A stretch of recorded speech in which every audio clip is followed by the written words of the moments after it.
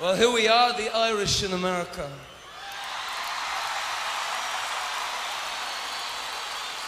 The Irish have been coming to America for years.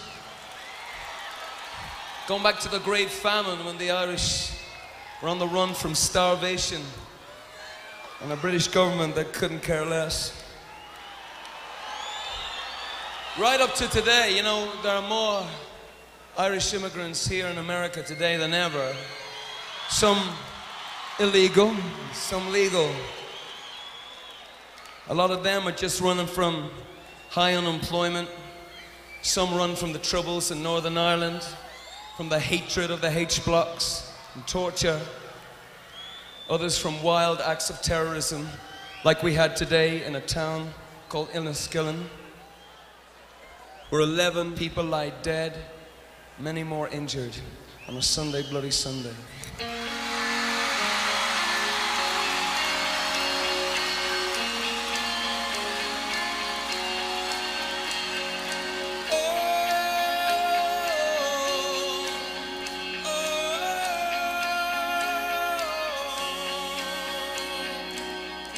Can't believe the news today.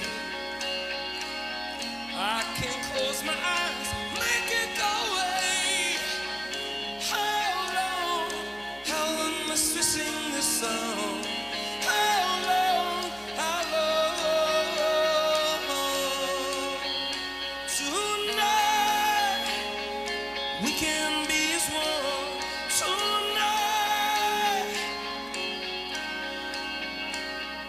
Broken bottles under children's feet. Bodies strewn across the dead end street. But I won't heed the bad old call. It puts my back up, my back up against the wall. Sunday, bloody Sunday. Sunday, bloody Sunday. Battle's yet begun. There's many lost, but tell me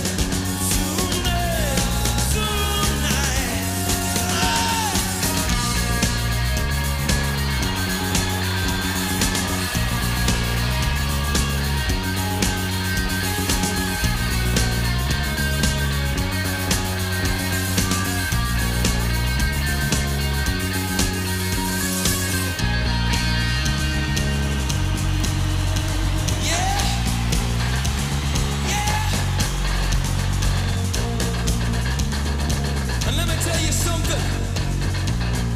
I've had enough of Irish Americans who haven't been back to their country in 20 or 30 years come up to me and talk about the resistance, the revolution back home. And the glory of the revolution, and the glory of dying for the revolution. Fuck the revolution!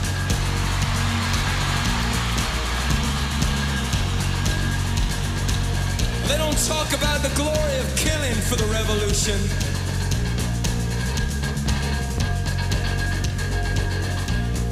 What's the glory in taking a man from his bed and gunning him down in front of his wife and his children? Where's the glory in that? Where's the glory in bombing a Remembrance Day parade of old age pensioners, their medals taken out and polished up for the day? Where's the glory in that? To leave them dying or crippled for life or dead under the rubble of the revolution that the majority of the people in my country don't want.